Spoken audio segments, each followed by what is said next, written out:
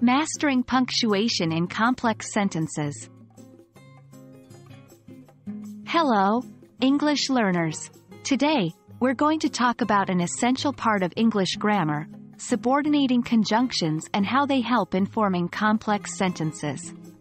Moreover, we will dive deep into the punctuation rules for these types of sentences.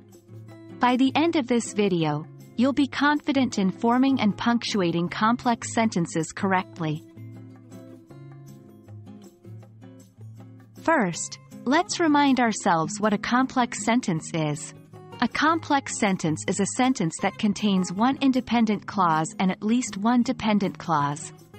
An independent clause is a complete thought that can stand alone, whereas a dependent clause is not a complete sentence and cannot stand on its own. The connector between these clauses is often a subordinating conjunction. Subordinating conjunctions are words like although, if, since, when, because, etc. They show the relationship between the independent and dependent clause, like time, cause and effect, or contrast. Example, although it was raining, she went for a walk. Here, although it was raining, is the dependent clause, and she went for a walk is the independent clause. The subordinating conjunction, although, connects these clauses together.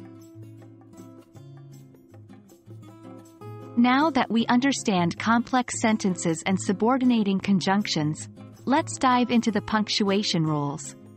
When the dependent clause comes first, we separate the two clauses with a comma. Example, because it was sunny, we decided to go to the beach. In this sentence, the dependent clause, because it was sunny, comes before the independent clause. Therefore, we place a comma after the dependent clause.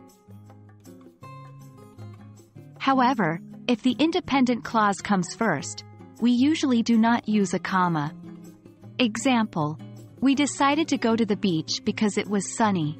Here, the independent clause, we decided to go to the beach, comes first, so we don't need to use a comma.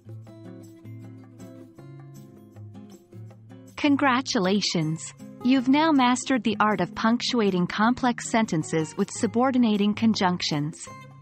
By understanding these rules, you will not only improve your writing but also enhance your reading comprehension skills.